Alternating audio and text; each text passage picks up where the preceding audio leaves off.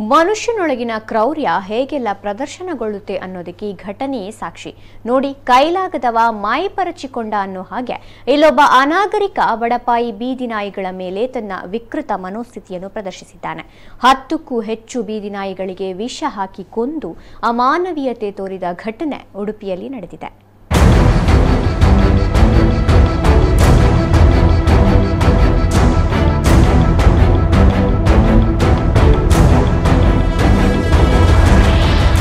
ಹೀಗೆ ಸಾಲು ಸಾಲು ನರಳುತ್ತಾ ಬಿದ್ದಿರುವ ನಾಯಿಗಳನ್ನ ನೋಡಿ.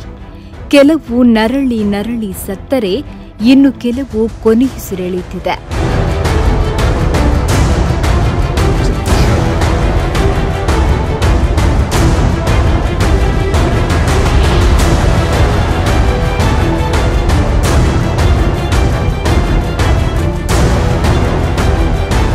ಬುದ್ಧಿವಂತರ ಜಿಲ್ಲೆ ಎಂದು ಹಣೆಪಟ್ಟಿ ಕಟ್ಟಿಕೊಂಡಿರೋ ಉಡುಪಿಯಲ್ಲಿ ಇಂತಹದೊಂದು ಅಮಾನವೀಯ ಕೃತ್ಯ ನಡೆದಿದೆ.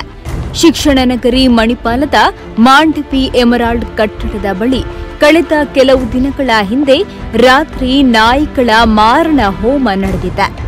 ಯಾರು ಕಟುಕನೆ ಈ ಕೃತ್ಯವನ್ನ ಎಸಗಿರಬೇಕು ಸುಮಾರು ಹತ್ತಕ್ಕೂ ಅಧಿಕ ನಾಯಿಗಳಿಗೆ ವಿಷ ಉಣಿಸಿ ಹತ್ಯೆ ಮಾಡಲಾಗಿದೆ. ಸುರಿಯುವ ಮಳೆಯಲ್ಲಿ ಒದ್ದಾಡುತ್ತಾ ನಾಯಿಗಳು ಪ್ರಾಣ ಬಿಟ್ಟಿವೆ. ಆಹಾರದಲ್ಲಿ ವಿಷ ಬೆರೆಸಿ ಈ ಕುಕೃತ್ಯ ನಡೆಸಿರಬೇಕೆಂದು ಅಂದಾಜಿಸಲಾಗಿದೆ.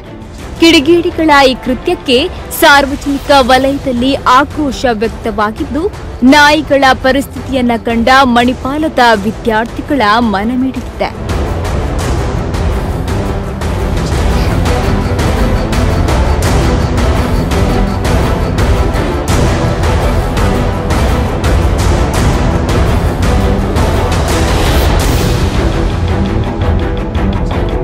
ಉಡುಪಿ ನಗರದಲ್ಲಿ ಬೀದಿ ನಾಯಿಗಳ ಕಾಟ ಹೆಚ್ಚಾಗಿದೆ ನಿಜ.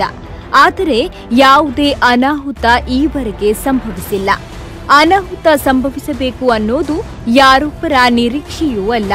ಹಾಗಂತ ಇಷ್ಟೊಂದು ಅಮಾನುಷವಾಗಿ ನಾಯಿಗಳನ್ನ ಕೊಲ್ಲೋದು ಸರಿಯಲ್ಲ ಅನ್ನೋದು ಸಾರ್ವಜನಿಕರ ಅಭಿಪ್ರಾಯ.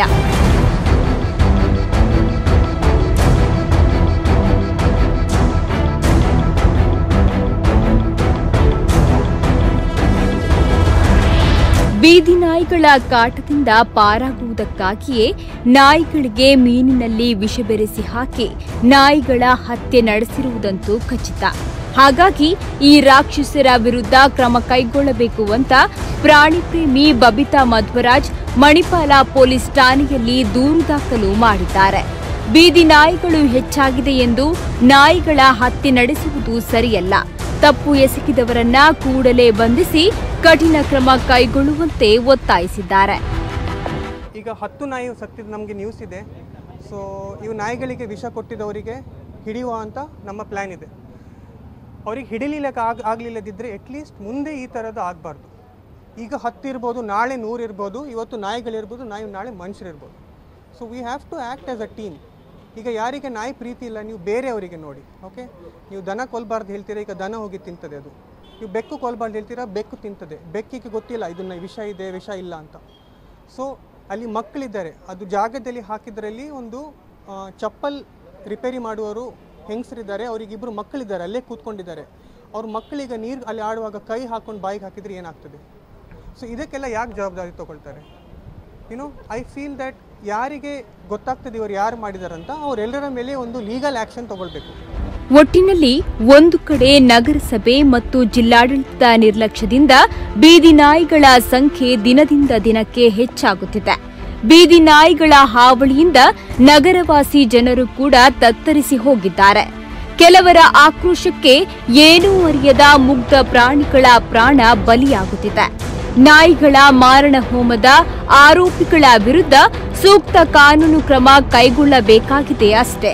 ಅಲ್ಲದೆ ಬೀದಿ ನಾಯಿಗಳ ಕಾಟದಿಂದ ಜನರ ಜೀವ ರಕ್ಷಿಸುವ ಕಡೆಗೂ ಜಿಲ್ಲಾಡಳಿತ ಗಂಭೀರ ಚಿಂತನೆ ನಡೆಸಲಿ ಎನ್ನುವುದೇ ನಮ್ಮ ಆಶಯ. Pramod Suvarna, Katapadi ನಮಕುಳ್ಳ news twenty four into seven.